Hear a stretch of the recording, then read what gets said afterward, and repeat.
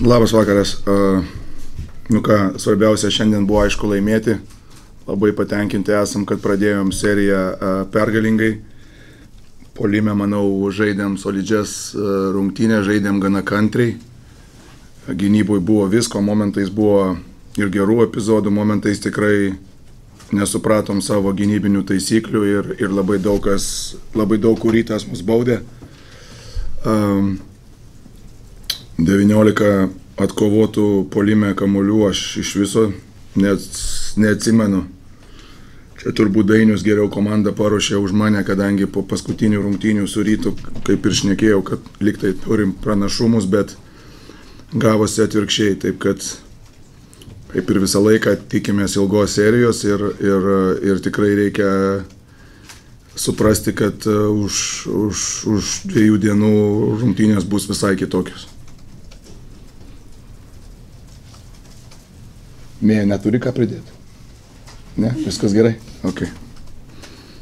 Treneri, kaip vertinat komandos gynybą ir ypač prieš didžiąjį sylį, kuri atrodo išimti žaidimo ir kad net po, po pertraukos nepasirodė iš tikrųjų? Sažininkai tai nežinau ar, nežinau ar, kaip sakyti, nu ta gynyba, tai aišku, jisai išėjo su nuliu, tai jau čia ką jau čia nieko nepasakysi, bet manau gal, galbūt jų idėjos, aišku, nenoriu lysti į jų lizdą, bet gal jų idėjos buvo remtis kitais žaidėjais, taip kad vėlgi sakau, čia yra serija ir, ir, ir kitose rungtynėse tikimės kitokių iššūkių ir kitokių dalykų.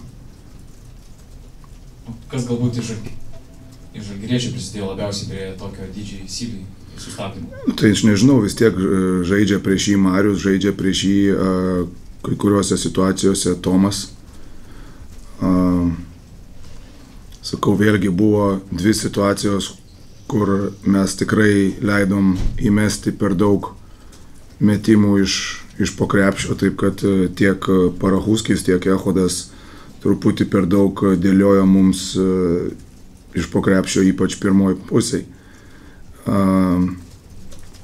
Vėlgi sakau, tos pirmos rungtynės jos yra specifinės, svarbiausia yra išlošti, o antras svarbiausias dalykas yra, yra kaip mes uh, reaguosim į, tą, į tas detalės, kurias mes akcentuosim prieš antras rungtynės, nes antros rungtynės jos, jos visai būna kitokios.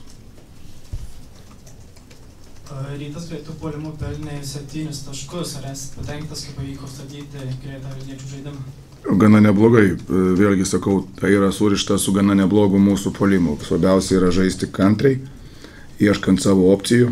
Metimų mes susikūrėm, momentais pataikėm, naidom į priekį, kaip nepataikydom, mane tik tai nepatinka, kad mes paėmėm devynis uh, atkovotus kamolius. Taip kad uh, čia tų šansų kaip ir buvo.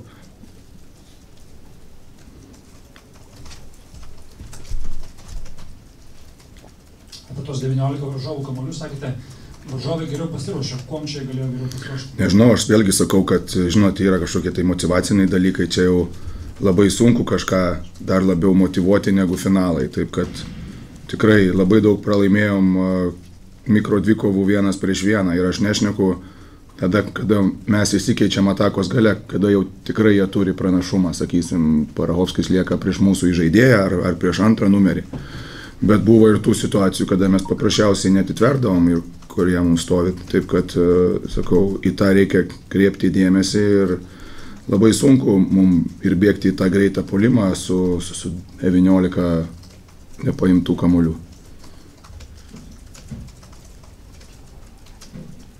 Kokių galbūt taktinio žaidimo pokyčių tikitės ir tai žaidime, ar tokie sunkiai įmanoma, kai rungtynės vyksta tempo?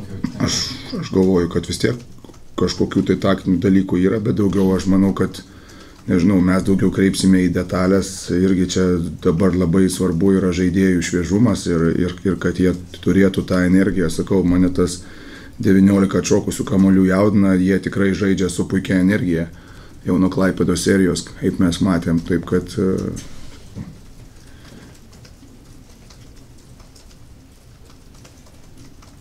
Kalbant apie tą energiją, kiek tikitės pranašumo gauti iš ilgesnio atsarginių suolo ir kiek galbūt jų lyderių žaidimo laikas gali pasireikšti serijai įsibėgiant? Sunku pasakyti. Irgi visus playoffus žaidžiam kas antrą dieną. Manau, kad jie yra įpratę irgi.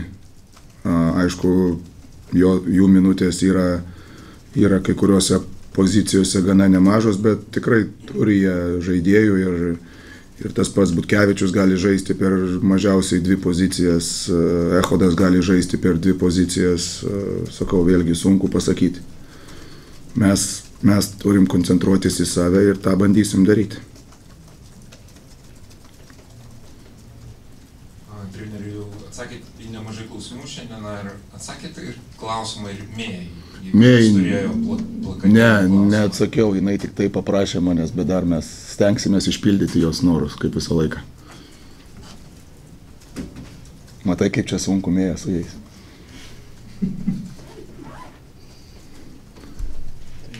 Gerai. Gerai, ačiū. Visi.